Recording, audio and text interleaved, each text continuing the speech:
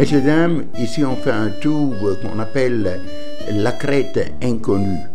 On commence à Agios Nicolas et c'est la place où il y en a le petit lac qu'on appelle le lac sans fond.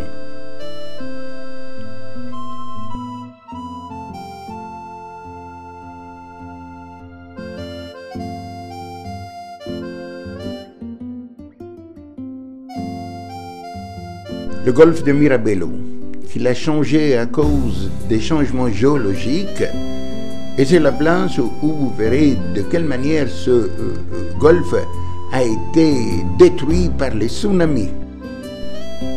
Visite dans la ville de Gournia, une ville minoenne qui ressemble beaucoup à Knossos.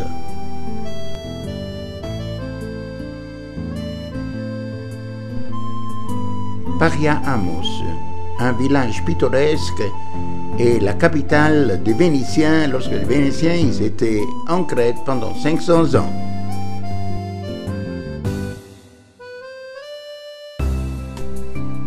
Visite de Irapetra, le point le plus sud de Crète et de l'Europe. C'est la place qu'on a bâti une jolie ville totalement moderne à cause qu'un monsieur de Hollande, on l'appelait Paul Kuipers, est venu ici et a donné des idées pour bâtir des serres dans ces places.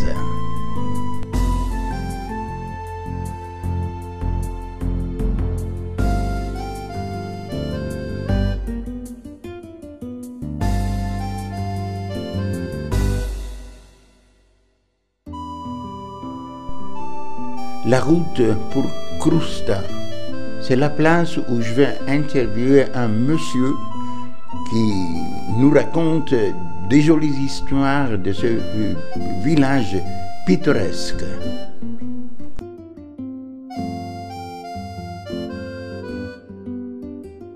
Dans la route sur Cataro, et vous voyez les chèvres sauvages que vous pouvez les caresser qui viennent chez vous à côté de l'auto. C'est quelque chose de spécial qu'on peut voir dans ce place. La maman Catherine, c'est une dame qu'elle vit là, elle vit dans une maison qu'il y en a 200 ans qu'on l'avait bâtie, et c'est elle qui va nous raconter la vie de ces gens-là dans le plateau. Le village de Kritza. C'est la place où les gens qui euh, sont comme des pauvres, mais ils sont très très riches. Et ces gens-là, ils travaillent, ils font des, travail, des travaux à main. Et c'est là que vous voyez les artisanats que vous pouvez les acheter. Kritza est connue aussi par la gorge de Samaria, de Kritza, qui est équivalente à la gorge de Samaria. Et c'est la place où vous pouvez vous promener pendant deux heures et voir toutes sortes d'herbes et aussi des fruits qui sont sur la route. Et ça, sans payer un sou pour l'entrée.